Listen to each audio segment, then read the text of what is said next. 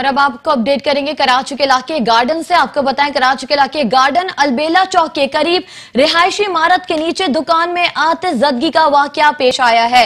कराची के इलाके गार्डन अलबेला चौक के करीब रिहायशी इमारत के नीचे दुकान में आतजदगी का वाक्य पेश आया है। आपको बताएँ बर वक्त इमारत को खाली करवाकर फायर ब्रिगेड की दो गाड़ियों ने आग पर काबू पा लिया है। इमारत को खाली करवाकर फायर ब्रिगेड की दो गाड़ियों ने आग पर काबू पा लिया है। इस वक्त कूलिंग का अमल जारी है। आपको अपडेट करें, कराची के इलाके गार्डन से, जहाँ पर अलबेला चौक के करीब रिहायशी इमारत के नीचे दुकान में आते जदगी का वाक्य पेश आया है। आपको बताएँ, बर वक्त इमारत को खाली करवाकर फायर ब्रिगेड की दो गाड़ियों ने आग पर काबू पा लिया है। इस वक्त कूलिंग का अमल जारी है। आपको अपडेट करें, कराची के इलाके से गार्डन से, जहाँ पर अलबेला चौक के करीब रिहायशी इमारत के नीचे दुकान में आते जदगी का वाक्य पेश आया है। आपको बताएँ, इमारत को बर वक्त खाली करवाकर फायर ब्रिगेड की दो गाड़ियों ने आग पर काबू पा लिया है। इस वक्त वहाँ पर कूलिंग का अमल जारी है। कराची के इलाके गार्डन अलबेला चौक के करीब